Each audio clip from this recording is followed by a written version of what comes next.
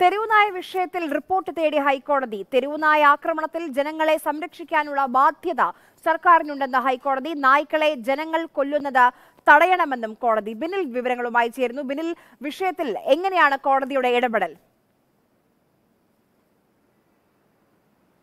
തെരുവുനായ വിഷയത്തിൽ ഒരു അടിയന്തര ഇടപെടലാണ് ഹൈക്കോടതി നടത്തിയിരിക്കുന്നത്. ഇന്ന് ഹൈക്കോടതി ചേംബറിൽ പ്രത്യേക സിറ്റിംഗ് നടത്തിയാണ് ഡിവിഷൻ ബെഞ്ച് സർക്കാരിന് ഇത് സംബന്ധിച്ച നിർദ്ദേശം നൽകിയിരിക്കുന്നത്. തെരുവുനായ ആക്രമണങ്ങൾ തടയുന്ന കാര്യത്തിൽ സർക്കാർ ഇതുവരെ സ്വീകരിച്ചിട്ടുള്ള നടപടികൾ അറിയിക്കാനാണ് സർക്കാരിനോട് ആവശ്യപ്പെട്ടിരിക്കുന്നത്. വെള്ളിയാഴ്ച ഈ കേസ് വീണ്ടും ഹൈക്കോടതി പരിഗണിക്കുന്നുണ്ട്. അതോടൊപ്പം തന്നെ കോടതി സർക്കാരിനെ ഓർമ്മപ്പെടുത്തിയിരിക്കുന്നത് ഈ പൊതുനിരത്തിൽ പൗരന്മാർ തെരുവുനായയുടെ കടിയേൽക്കുന്നത് തടയാനുള്ള ഒരു ബാധ്യത സർക്കാരിനുണ്ട് എന്ന കാര്യം സർക്കാരിനെ ഓർമ്മപ്പെടുത്തിയിട്ടുണ്ട്. അതോടൊപ്പം തന്നെ ജനങ്ങൾ നിയമം കയ്യിലെടുക്കരുത് എന്ന ഒരു ഓർമ്മപ്പെടുത്തൽ കൂടി കോടതിയുടെ ഭാഗത്ത് നിന്നുണ്ട്. അതായത് ഈ നായകളെ ജനങ്ങൾ തല്ലിക്കൊല്ലുന്നത് പോലുള്ള നടപടികൾ വിഷം കൊടുത്ത് കൊല്ലുന്നു തല്ലിക്കൊല്ലുന്നു പോലുള്ള നടപടികളുമായി ബന്ധപ്പെട്ട വാർത്തകൾ വരുന്നു. അത് ഒഴിവാക്കേണ്ടതാണ്. അത് സർക്കാർ ഇടപെട്ട് തടയണം. പൊതു അവബോധം ഇക്കാര്യത്തിൽ ഉണ്ടാക്കാൻ സംസ്ഥാന പോലീസ് മേധാവി സർക്കുലർ ഇറക്കണമെന്നുകൂടി ഇപ്പോൾ കോടതി നിർദ്ദേശിച്ചിരിക്കുകയാണ്. വെള്ളിയാഴ്ച ഇത് സംബന്ധിച്ച കേസ് പരിഗണിക്കുമ്പോൾ